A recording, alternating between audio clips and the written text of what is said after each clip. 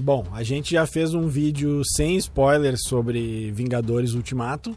E agora esse aqui é com spoilers. Então, assim, se não viu o filme e não quer que a gente estrague a experiência contando surpresas, dá um stop nesse vídeo, vai ver, espera, comprar ingresso, boa sorte, porque nos próximos dias vai ser complicado.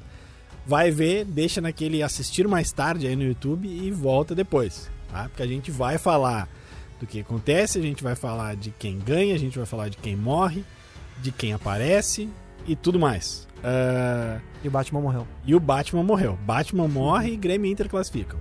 Uh, vamos começar, acho que é o, o, o, o mais destacado pelos fãs, mais. Uh, que, os, que os fãs têm mais curiosidade nesses, nesse intervalo entre um e outro. Assim. Uh, volta todo mundo, quem morre? Sim, volta todo mundo e sim, tem morte. Mortes sim, pesadas. uma das mortes é esperada, a outra, pelo menos para mim, não. Eu esperava mais é na, mortes. Na verdade, na verdade, não é que uma morte seja esperada. Ah, vamos lá aqui, ó. Morre, morre o Homem de Ferro no final. Morre com dor no meu coração. Viúva Negra. E. Uh, o Capitão América ele fica Capitão América eles deram uma saída né, eles deram é. uma saída pela, pela, pela tangente. Deram uma saída, é. ele não morreu, mas tá pra mas tá morrer. Tá fora, é. Tá é. Fora. Uh, e também foram confirmadas algumas mortes, né? Que alguém tinha expectativa de que poderiam voltar. Por exemplo, o Loki. Não volta. Tá morto. Visão também. Tá Visão. Tá fora. Tá fora. Eu achei, principalmente, uh, como eu disse já no outro vídeo, o começo me surpreendeu. Eu não esperava que, da maneira que aconteceu, não esperava que é curioso que com tantas e tantas teorias o filme ainda tenha conseguido Exato. surpreender. Né? Isso, isso que me, já me chamou a atenção, porque o filme já começa primeiro com os dois pés no, no, no peito, porque o arqueiro perde a sua família. E ele, a primeira cena. É, a primeira cena ele já estava afastado do grupo, ele perde sua família. E depois mostra realmente as consequências do estalo do Guerra Infinita. O como ficaram os Vingadores, uh, a volta do Tony Stark e esse confronto dele com o Capitão América porque lá atrás eles tinham feito uma promessa uma, um pro outro que estariam ali quando algo assim acontecesse. E aí o capitão, o Homem de Ferro, confronta isso. E isso me chamou muita atenção. Se passam cinco anos, acontecem muita coisa, e se passam cinco anos e mostrando as consequências do estalar de dedos que o Thanos achava que seria bom. Então é muito surpreendente, eh, pelo menos a mim pegou muito, porque mostra uma consequência de um mundo que talvez a gente nunca esperasse ver num filme de super-herói, uma complexidade. Mas ao mesmo tempo, e, e, e, no outro vídeo a gente atribuiu notas e eu disse que eu tinha dado 8,5 e não poderia, num vídeo sem spoiler, dizer por que não. Uh, e eu gostei bastante do filme, eu só não achei ele uau, tal. Uh, e alguns pontos eu tenho. Uh, um desses é essa questão desses cinco anos.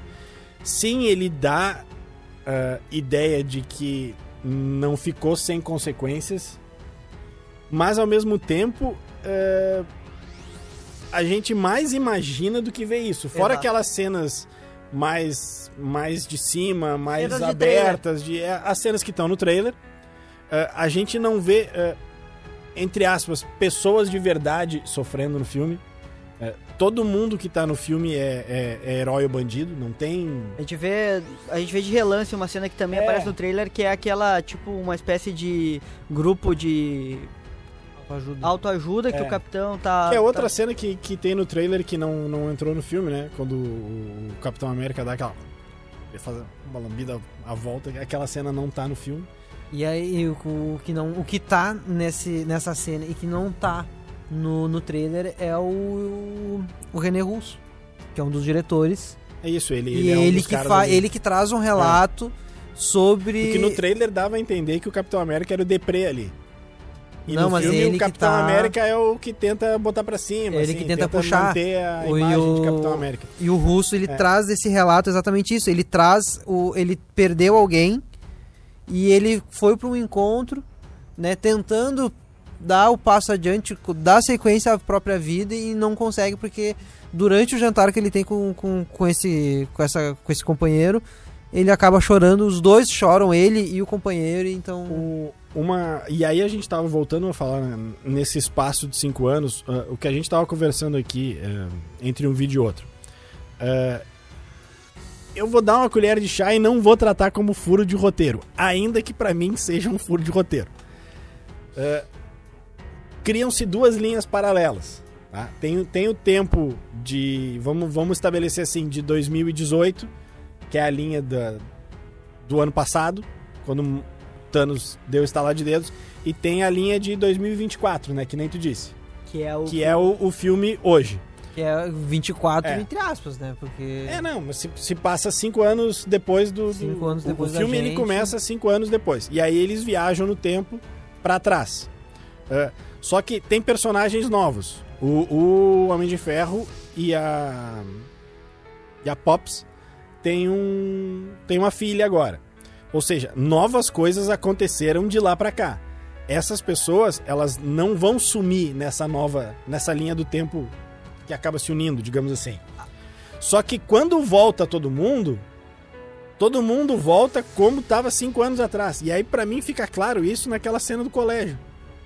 Quando volta o Peter Parker de cinco anos atrás, como se fosse cinco anos atrás, e o amigo gordinho dele Também. tá na Segue. mesma idade. Mas o. Ah, ele pode ter Mas sumido. tem- na cena Todo da- mundo sumiu, Mas na então. cena que o Peter reencontra o, o Tony Stark, ele explica. É, ele dá uma explicação. Ele dá uma explicação. Aliás, o filme todo é baseado em querer simplificar a viagem no tempo. Tanto é que são usadas várias referências de filmes com viagem no tempo e muita brincadeira com De Volta pro Futuro.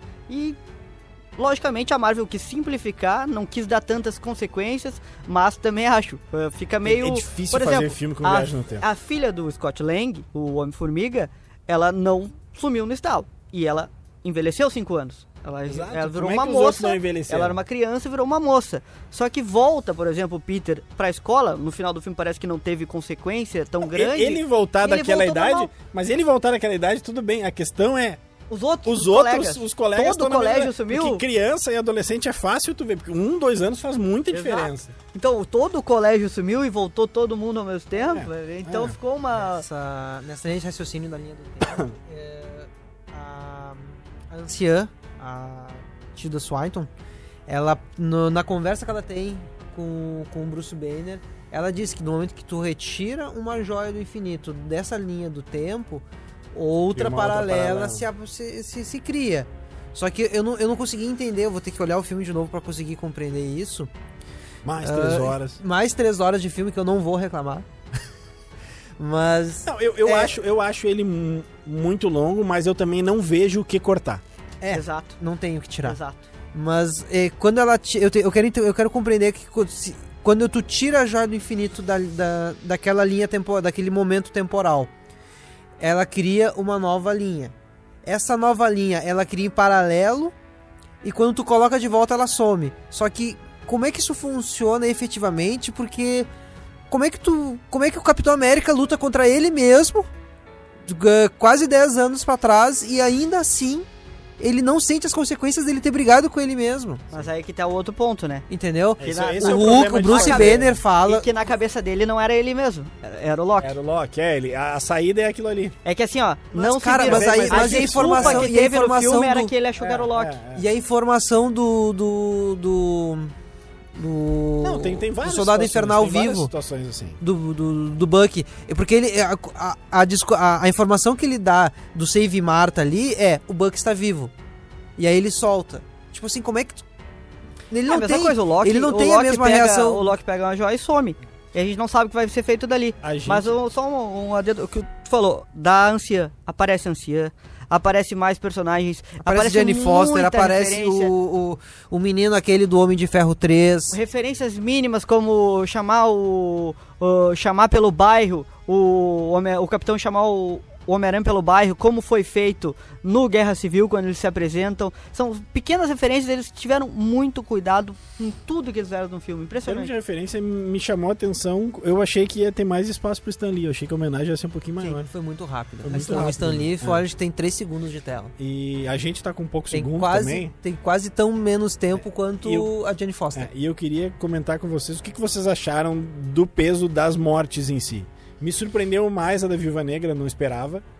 É, a do, do Homem de Ferro, não sei se eu tô ficando muito insensível, É que eu acho que as mas duas, não... as duas mortes dos principais. ah, mortes não, é porque o, o capitão acaba não morrendo. Mas a- o desfecho desse arco dos dois já era muito esperado. E até um- uma das únicas pontas soltas que tinha o Tony Stark, que era a questão com o pai dele, numa viagem no tempo, ele fecha esse arco com o pai dele, agradece o pai dele por tudo que o pai dele criou e fez, como a- as indústrias Stra- ah, Stark. Então ficou muito interessante porque ele fecha esse arco com o pai dele, assim como o capitão consegue fechar o arco dele até romântico, voltando e ficando no passado, envelhecendo. Então eles conseguiram fechar esses dois arcos, então era esperado. E da Natasha tu esperava mais. Tu esperava, da, da, da Viva Negra tu esperava mais. Por isso também eu fiquei muito mais surpreso com a É, morte eu da Viúva surpreso Negra do que do Tony. programaram um filme novo dela ano que vem. Também. É, mas é que vão gravar o, fi- o filme novo vai ser do O- passado, né? Vai ser sobre a só formação gente- dela e a é. relação dela com o Clint. É, eu sei que a gente vai estourar no tempo, aí depois é, vocês veem como é que vocês editam Ah, aí. É, que é o seguinte, é, não, é tem, tem alguns personagens que é, a gente precisa passar mesmo que rapidamente. Gostei muito do Thor, Acertaram. Thor, Thor Bebum, Barbudão, acho que as- o, o Taika Waititi achou o tom dele no, no Thor E, Ragnarok. e é legal que ele vive as consequências do erro dele de não É, ter dado o golpe na é. cabeça. Acho que... Não sei se eu curti muito o Hulk, Professor Hulk. Hulk professor o Hulk. Hulk, his- ah, hipster. É, é, o Hulk um- hipster. É, de resto, ah, é, uma, a impressão que eu tenho é que, obviamente, esse roteiro ele foi feito há mais tempo. Eu acho que o pessoal não tinha certeza se nem Pantera Negra nem Capitã Marvel ia ser o sucesso que foram, porque eu imagino que se eles soubessem, é, esses dois personagens teriam mais espaço. É, porque eles têm bem pouco tempo de tela. A Capitã pouco. Marvel, ela O- aparece o no Pantera começo. Negra, menos ainda. O Pantera Negra aparece É, só é, pra trazer é o Wakanda pra, falou, pra É como a gente falou no, no outro vídeo. É um filme focado nos Vingadores É difícil originais. fazer um filme com 2.400 Exato. personagens. né? Focado nos Vingadores originais e principalmente no Tony e no Capitão. Só de equipe de Avengers, entre principais, secundários, terciários, tu tem ali quase 60 personagens, né? Pra encerrar, daqui pra frente, como é que fica agora? Disney Plus. É, é, pra Disney Plus pros americanos, pra gente é só 2021, né? Não teve cena pós-crédito. Depois reclamam do, Vamos- do Pirate Bay. Não teve cena pós-crédito. Vamos ver o que vai ter no Homem-Aranha. É, isso é um bom serviço, não precisa ficar sentado até mais tarde. Não tem, fiquei. Não tem cena pós-crédito. Aqui acho que também não vai ter cena pós-crédito, então a gente vai acabando por aqui agradecendo a audiência de todo mundo, certo? Obrigado e tchau.